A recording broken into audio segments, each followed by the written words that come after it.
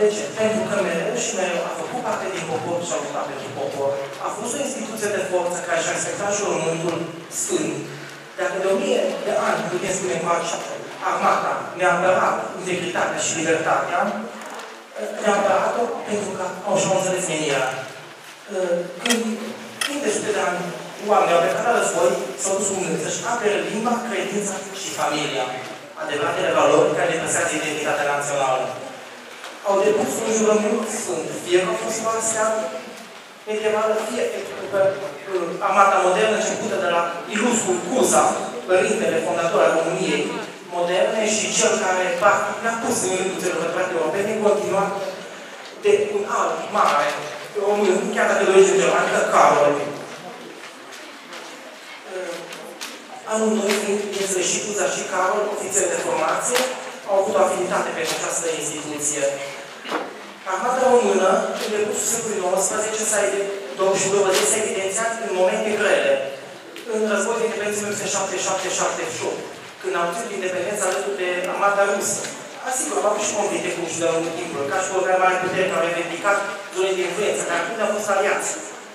S-a evidențiat Cernat, colonel, s-a evidențiat Șonțu, Mărăcineanu, ofițer mai tineri, la Preta, Rahova, Surdan, Belograd, Opanez, Vidin, Grivița, sigur, s-au evidențiat în primul zi mondial generalii noștri, dar trebuie să amintim și două nume feminine, Caterina Teodoroiu, considerate pe cum Ioana Darca României, sau fetița Mărică, care la 13 ani și-a oprit un glonț nenorocit cu pieptul tânăr, pentru că s-a urcat într-un copac.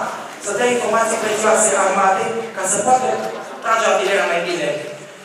Vedeți că în armata română se evidențează și fete. Sigur, mai puține, că prin tradiție a fost considerat o instituție de bărbați. Dar tot mai multe deci fac și ele rost, acolo și medicina militară. Pentru că armata a semnat, cum am spus, popor, iar popor a semnat toată lumea care a citit acest penal, uh, această limbă. Vreau să spun că și perioada comunistă, chiar dacă mulți o contestă sau e în general, și m-aș referi puțin la regretatul Milea, care a primit un ordin politic de noi Sorzon să tragă în popor și n-a vrut, pentru că a jurat pentru popor, să-și apere, a plătit cu viața, dar a intrat în rândul mare economie atunci. După 1990 am suferit transformări, multe, dar paradox face ca mereu armata, fie că a fost de amator, fie că a fost de profesionist, să rămână mereu credibilă. De multe, drept, respectată, dar mereu dacă întreb oamenii pe stradă, vă spune două instituții mai încrede, armată și biserică. O instituție de forță și o instituție de suflet. Una care se conectează pe cealaltă.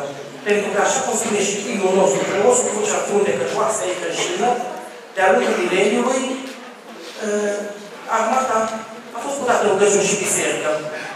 Sigur că armata a fost, este și va rămâne mereu o componentă esențială unui popor care vrea să existe.